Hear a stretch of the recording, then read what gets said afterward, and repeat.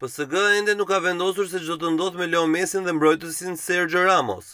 Në lidhje me mbrojtësin dhe sulmuesin ka folur drejtori sportiv i francezëve, Luis Campos. Jam i kënaqur me Sergio Ramos. Nëse vazhdon të luajë kështu, pse jo? Ai ka pasur një sezon shumë të mirë dhe e njëjta gjë vlen dhe për Leo Messin. Do të ishte mirë t'i rinovonim kontratat me të dy, është shprehur Campos, i cili më parë kishte sqaruar se Neymar është pjesë e projektit të tyre dhe se në asnjë moment nuk kishte qenë pranë largimit nga PSG.